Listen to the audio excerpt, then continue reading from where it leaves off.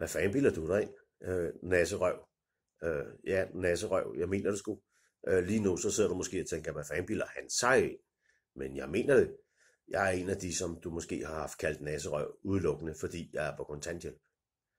Nu tager jeg mig den frækhed at kalde rigtig mange for nasserøv. Nemlig alle arbejdsgivere, som udnytter syge i deres praktik hamsterhjul.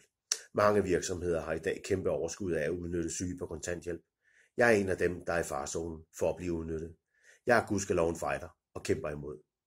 Jeg vil ikke længere finde mig i at blive udnyttet.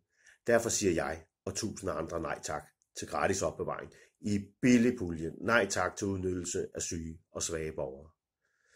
Du skal som arbejdsgiver ikke have lov til at sidde og stryge fortjenesten, fordi du kan udnytte syge borgere til rengøring, telefonpasning og meget andet. Jeg er en af de, som er hårdt ramt af slidgigt. Min fysik er ikke længere egnet til fysisk arbejde på grund af diverse. Alligevel skal jeg testes i den ene arbejdsevnevurdering efter den anden.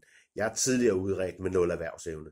Men så længe der er arbejdsgiver, som ser potentialet i at udnytte gratis arbejdskraft i form af sygepraktik og andet, så længe presser jobcenter mig ud i de der ydmygende og invaliderende forløb. Du som arbejdsgiver er en nasserøv, hvis du udnytter gratis arbejdskraft. Du lønpresser. Du gør dig skyldig i samfundsnasseri. Alle dine medarbejdere går og frygter en fyreseddel. Kun fordi de ved, at du i morgen kan få en ny medarbejder gratis. Du sparer masser af penge hver gang du udnytter en syg.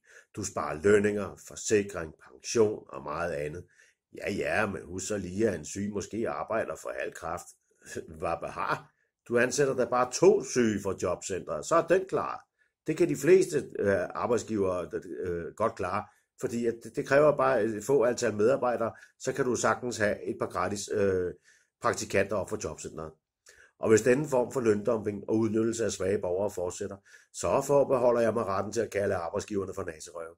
Nu er det ikke længere mig, som er den store naserøv. Det er dig som arbejdsgiver, der er naserøv.